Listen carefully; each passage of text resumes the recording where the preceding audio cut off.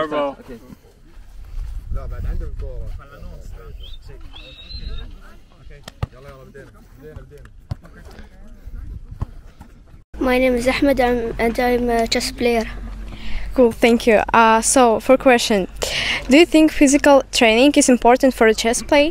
Yes, to learn and uh, and uh, improve yourself. Fine, thank you.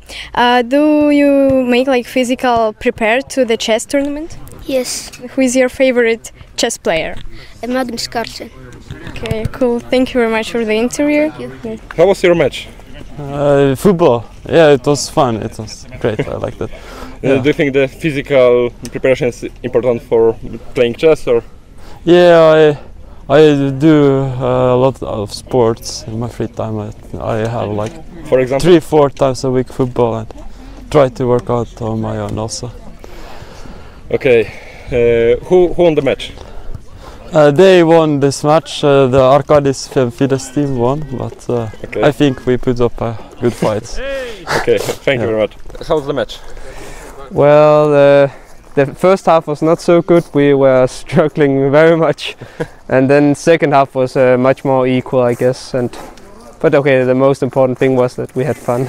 okay Philip uh, how is it important to have a physical preparation for chess tournament I, I- think it's very important to yeah to also the physical aspect of chess is very important, and it's become more important in recent years. That especially when you're playing in the fourth hour of the game and you know a tiredness is starting to kick in. It's very important to you know have the last bit of energy and so uh, and a good physical form is a good start.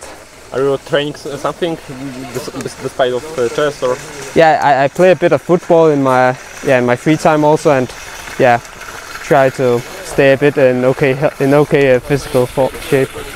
okay who's your favorite uh, chess player Uh, oh, well, I, I I've had the question a thousand times, and I, I never have a have a real answer. Like okay all the all the all the world champions through the times, I, I really like, and yeah, I, I, but I cannot really pick one out from another. thumbs up yeah ah